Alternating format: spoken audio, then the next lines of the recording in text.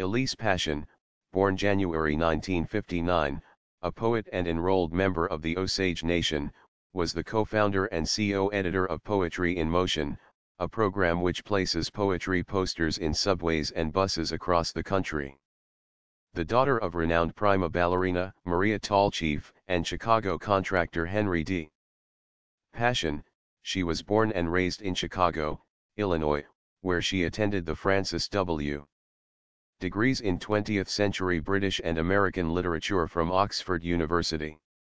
Her book of poetry include, most recently, Bestiary as well as Houses, Coasts and Infidelities, winner of the Nicholas Roerich Poetry Prize. Elise Paschen, born January 1959, a poet and enrolled member of the Osage Nation, was the co-founder and co-editor of Poetry in Motion, a program which places poetry posters in subways and buses across the country. The daughter of renowned prima ballerina Maria Tallchief and Chicago contractor Henry D.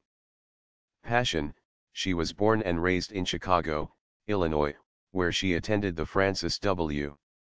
Her poems have been published in The New Yorker, The New Republic, Ploughshares, and Shenandoah.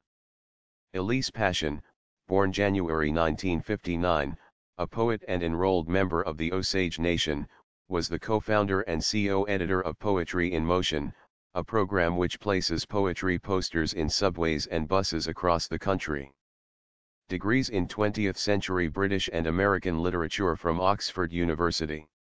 The daughter of renowned prima ballerina Maria Tallchief and Chicago contractor Henry D.